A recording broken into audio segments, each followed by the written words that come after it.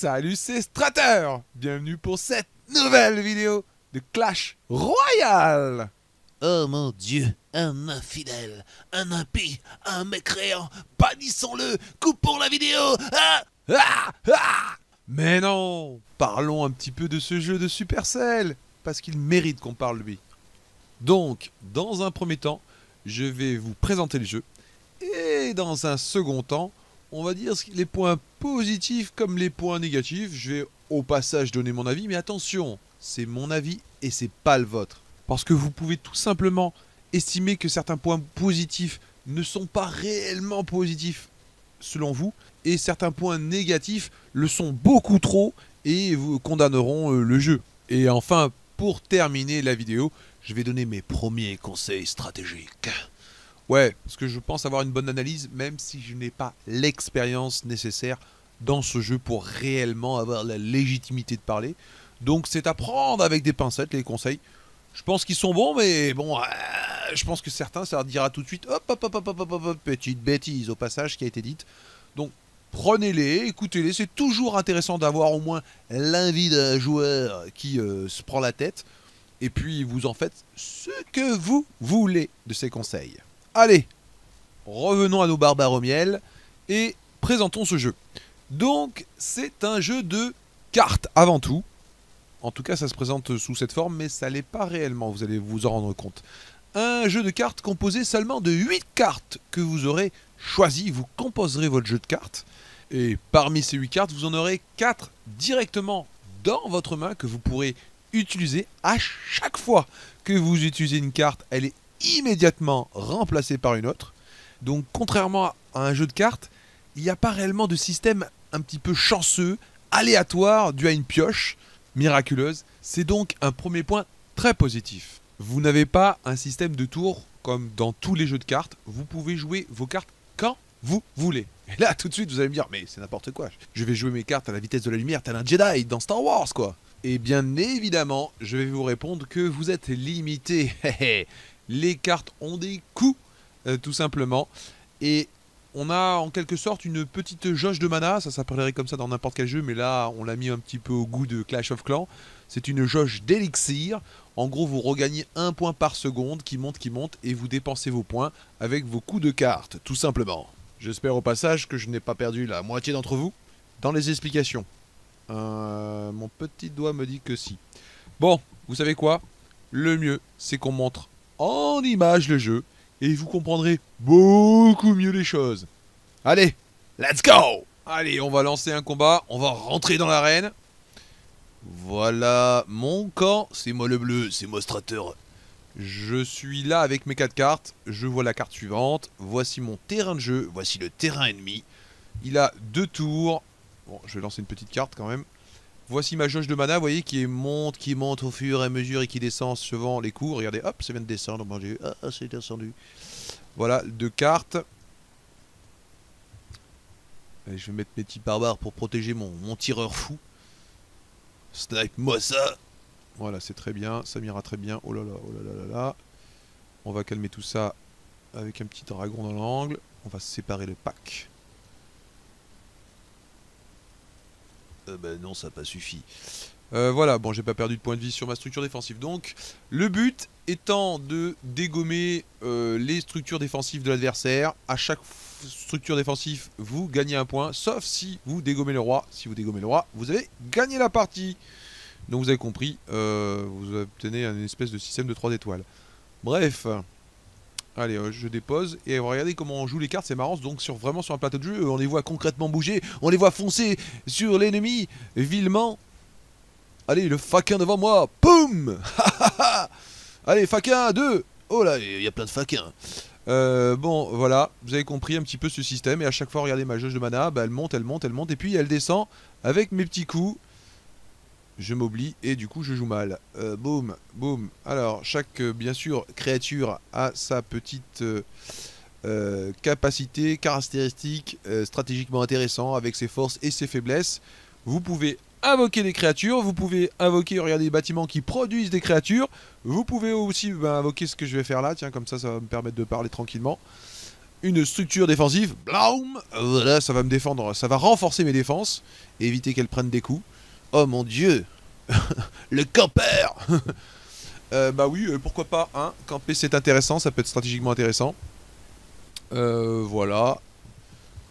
Bon, euh, voilà, je vais faire ça. Je vais faire ça. Je vais faire ça. Je vais faire ça. Je vais faire ça. Là, la grosse attaque, hein. Grosse attaque, attaque enchaînée. et c'est parti pour le combat de mort. Oh non, tout est gelé. Oh non. Oh non, ça passera pas. Bon, alors, euh, regardez, hop. Ça s'appelle le retour de bâton. Tiens, je vais faire un petit sniper dans le tas. Il y a quand même beaucoup. hein. Oh là là, oh, oh, mes, mes structures défensives sont parties comme, une, comme un feu de paille. Allez, dragon, vas-y. Ouais. Oh, le chevalier. Ouais.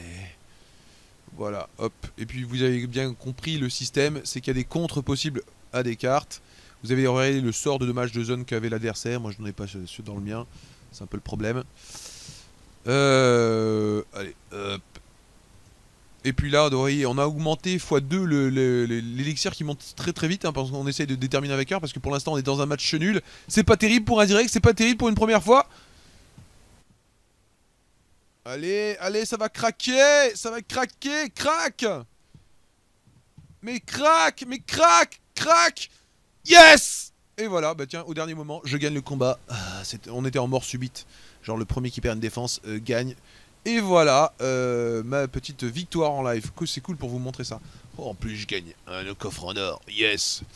Euh, voilà. Donc, vous avez rien compris parce que j'étais pris par le jeu. Forcément, mon instinct de vainqueur voulait, euh, voulait gagner. Mais en gros, vous avez trois sortes de cartes. En gros, hein, on va le faire simple. Vous avez les créatures, les petits monstres qui vont bourrer l'adversaire, qui en plus sont des, points de vie pour vous défendre. Vous avez les sorts, voilà, qui euh, soit euh, augmentent vos créatures, soit font des dommages sur les défenses, sur, les, euh, les, unités. Vous avez quoi encore Vous avez les structures défensives, vous avez même des bâtiments qui peuvent produire en continu de la créature.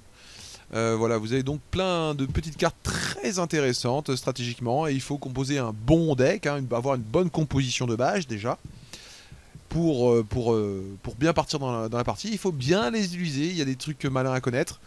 Voilà, hein, voilà pour le jeu. Donc, est-il sympathique ce jeu? La réponse est oui. Oui, il est très très sympathique. Parce qu'un jeu de cartes, moi je vous le répète, qui n'allie pas système aléatoire, hein, on tourne seulement sur 8 cartes, on en a déjà 4 en main, dès qu'on utilise on en a une, donc euh, le phénomène euh, aléatoire du jeu de cartes est complètement euh, laminé. Donc ça c'est cool pour la stratégie. On a un choix de composition déjà en préalable de la partie, mais évidemment on espère un petit peu avoir le compte de l'adversaire, je vous l'avouerai. Même si je suis sûr qu'à l'avenir on aura plutôt des decks champions, c'est-à-dire très très polyvalents, capables de s'adapter face à tout. Je pense que ça c'est l'avenir pour avoir un deck champion. Euh, voilà, vous avez euh, donc les placements des unités hein, qui comptent énormément. On peut s'appuyer sur des- ses défenses, on peut déborder en invoquant des petites créatures, avoir des petits coups, euh, être appuyé de, de sorts à ce moment-là, etc. Enfin, il y a toute une panoplie stratégique très intéressante. Donc le jeu est très très bien foutu en soi. Honnêtement, Euh, en plus on n'est pas dépaysé quand on vient de Clash of Clans, puisque c'est un petit peu l'univers de Clash of Clans, un petit peu ils reprennent les caractéristiques des unités quand même. Après ils en ont rajouté des nouvelles hein, pour, pour donner un phénomène euh, étendu à leur jeu euh, de cartes. Euh, voilà, donc super jeu, Euh, honnêtement très bien conçu. Maintenant, je vais insister sur le point négatif, et il n'est pas petit. C'est qu'il faudra énormément de temps pour atteindre le haut niveau. Parce que regardez, je sais pas si vous avez fait attention sur l'écran, mais vous avez un système de niveau sur les unités. Euh, vous voyez par exemple là j'ai un dragon niveau 2, euh, j'ai euh, un mousquetaire niveau 4, j'ai des gobelins niveau 6. En fait, comment ça se processe? C'est-à-dire qu'à chaque fois que vous gagnez des parties, en gros, vous gagnez des coffres, vous en avez quelques-uns qui sont offerts, regardez avec des timings d'ou- d'ouverture, etc. Vous déverrouillez le coffre, vous gagnez des cartes, euh, et, euh, ils vous en font un certain nombre pour passer de niveau. Par exemple, là, pour euh, mes gargouilles niveau 7, il me faudra 200 gargouilles pour passer niveau 7. Euh, par contre, pour le dragon ou le, chevalier, vous voyez, est, il n'en faut que 4 parce qu'ils sont que niveau 2. Il y a un système de rareté en plus dans les cartes. Alors vous avez les cartes communes hein, qui sont en bleu, les cartes rares, les cartes épiques, les cartes légendaires, etc. qui sont encore plus rares. Hein, c'est un jeu un peu de Pokémon, il faut l'avouer. Euh, et c'est bien le problème. C'est-à-dire que ça sera super long. Euh, le but c'est pas de mettre son, sa main dans le porte-monnaie euh, et dépenser et acheter des cartes. hein. Donc c'est un peu le problème de ce jeu-là. Parce que vous n'avancerez pas, vous serez bien limité, hein, je peux vous le dire. Là, je tourne quoi? Je suis à 1600 trophées, je suis niveau 6. Euh, je peux peut-être monter, aller à 1700, 1750, mais je serai vite limité parce que je vais rencontrer des gens qui sont au niveau 7, niveau 8, et à chaque fois qu'on gagne un niveau, à chaque fois les structures euh, montent en points de vie. Euh, en plus, les joueurs qui ont généralement des niveaux là ont des cartes supérieures aux vôtres en niveau question de niveau level. C'est-à-dire que je vais me trouver face à moi avec des barbares 7 ou des barbares 8 et ça fait quand même une différence. Donc vous ne pourrez pas monter éternellement malgré une bonne composition de decks, c'est impossible. D'ailleurs, je vais donner un conseil que je n'ai pas vu dans les premières vidéos euh, des Français, euh, qui sont tous à à- là à dire oui, euh, faites ce deck là, c'est le meilleur pour monter. Ça, déjà, j'ai déjà vite compris que c'est des espèces de newbies qui comprennent déjà rien au rien au jeu. Bien évidemment, si vous mettez la main au portefeuille, que vous ouvrez un tas de coffres, vous avez accès aux cartes. Ils ont, euh, il y a du niveau sur les cartes, etc. Il n'y a pas de problème, vous avez toute la panoplie. Alors que si vous jouez comme moi, sans mettre de l'argent au porte-monnaie, eh bien, il faudra en faire en fonction du niveau de vos cartes. Voilà, par exemple, j'ai des gargouilles 7, donc elles méritent vraiment d'être jouées. Elles sont gros niveau, euh, vous voyez. Et euh, forcément, déjà niveau 2, bah parfois ça devient plus terrible de les jouer. Alors c'est quand même des cartes rares, donc c'est des cartes fortes, donc niveau 2 veut pas forcément dire faible. Mais euh, voilà, il faudra composer en fonction de ce que vous trouvez comme carte euh, votre deck. Ça vraiment c'est une chose à, comprendre. Et je pense, dans un premier temps, essayer de composer des decks qui complètent. C'est-à-dire que vous allez vous vite vous rendre compte que certaines créatures en contre d'autres. Je donne un exemple. J'ai un dragon. C'est un dragon, ça tape. euh, bon, alors le dragon, c'est un peu. Moi, je trouve ça un peu trop ultime. Ça tape en zone, ça a beaucoup de points de vie et c'est aérien. Alors, par exemple, si on évoque en face de vous une créature qui est au sol, forcément, unité aérienne, c'est super cool d'utiliser pour le contrer. Mais par exemple, le chevalier. Le chevalier, euh, il fonce sur, la première euh, cible qui est face à lui et lui fait énormément de points de dommage. Et c'est une unité qui tape très fort les euh, troupes seules. C'est-à-dire que s'il se trouve face à une horde de troupes, il est complètement dépassé, il va se faire massacrer. Mais s'il y a une grosse créature face à lui, c'est vraiment la carte à sortir par exemple. Vous voyez? Donc en gros, euh, pour contrer un chevalier en face de moi, je vais, sortir ma horde de barbares. Parce que vous avez vu, j'en euh, dans les infos, j'en invoque 4. Donc ils vont tabasser le chevalier adverse par exemple. Alors que si par exemple euh, l'adversaire me sort un PK, là, bon, là c'est un mini PK, qui est tout seul à être sorti, et que je mets un chevalier en face, je vais le pulvériser son PK. Vous voyez, donc vous avez un système de contre, donc il va falloir contrer et les créatures aériennes, et les petites créatures, et les créatures uniques. Vous devez aussi avoir, euh, c'est aussi très cool d'avoir des sorts, parce que les sorts c'est pas terrible terrible en soi, parce que vous faites que, généralement c'est des sorts de dégâts, hein, la plupart. Euh, vous faites des dégâts, mais ça n'a pas de point de vie, donc ça ne retient pas réellement, et en plus c'est qu'un système on va dire défensif, mais ça peut très bien appuyer une attaque. C'est-à-dire vous faites une grosse grosse masse, en face de vous il va opposer parce que vous avez gardé plein de, mana, mais lui aussi une grosse masse et boum vous balancez votre sort de zone, je vous assure que boum vous allez lui rentrer dans l'art très facilement. Voilà, vous avez des petits trucs vicieux, il faut aussi comprendre le deck de l'adversaire. Hein, vous avez commencé à voir les cartes qu'il utilise et à se dire attention il faut que je garde celle-là sous le coude, s'il me la sort ça va mal se passer. Donc c'est vraiment euh, euh, très très très euh, intéressant ce jeu là, il est très il est super. Mais le fait qu'on trouve très faiblement des petites cartes, qu'il y ait un système de, cartes, euh, c'est monstrueux de trouver 200 gargouilles. euh, Enfin, moi, ça va mettre longtemps avant que je les passe le niveau 8 par exemple. Voilà.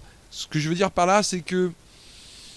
Bah oui, vous pouvez être fort, vous naviguerez dans des niveaux de trophées un petit peu au-dessus des autres. hein, vous allez voir, enfin, moi, par exemple, là, je suis en arène donc 5. Je me suis retrouvé en arène 6 la dernière fois. Je sais que je navigue un petit peu au-dessus parce que je vois que je suis niveau 6 et que je rencontre généralement des gens qui sont niveau 7 ou 8 par exemple, etc. Euh, donc c'est toujours très intéressant parce que je pense que plus vous montez en niveau, plus les coffres sont euh, attractifs. Donc il faut essayer de vraiment de, grappiller des trophées. Enfin je pense que c'est ça, je suis pas bien sûr de ce que je dis. Euh, mais voilà. Un jeu très prenant, mais un jeu de Pokémon où euh, vous serez limité par vos cartes, donc euh, cherchez même pas à jouer 15 heures par jour. En plus, c'est le genre de jeu, ça sert à rien. Et ça, je trouve que c'est un point positif. C'est-à-dire que voilà, là j'ai tous les coffres qui sont remplis, j'ai pas d'objectif à remplir. Et ben, j'arrête de jouer, terminé. J'ai fait ma petite partie, voilà, dans 3 heures je reviendrai faire une petite partie. C'est vraiment fait pour le téléphone portable, voilà. Vous jouez de façon très casual à ce jeu-là euh, et vous prendrez votre pied. Si par contre vous voulez passer des heures à jouer, ça n'a aucun intérêt, ça ne vous fera pas gagner plus de coffres, vous ne pouvez pas les cumuler, vous ne pouvez pas tous les ouvrir, vous voyez, vous avez un système de temps, etc. Donc ça c'est plutôt ah, euh, cool euh, qu'on n'ait pas du hardcore gaming, voilà, pour farmer, farmer, farmer, farmer. Un petit peu à la Clash of Clans, moi je trouve ça super bien. Maintenant, euh, avant que j'atteigne le haut niveau, bah va falloir, je pense, sûrement deux ans. Alors que certains, voilà, certains là, ils sont, ils, ont claqué leur argent, leur porte-monnaie, ils sont très très fiers d'eux. Mais euh, voilà, bon, il va falloir du temps pour euh, arriver à leur niveau, pour débloquer toutes ces cartes, alors que eux ont juste mis de l'argent dans le jeu. Voilà, c'était Strater. J'espère que vous avez aimé cette vidéo. N'hésitez pas à la commenter. Et pour finir, BOUH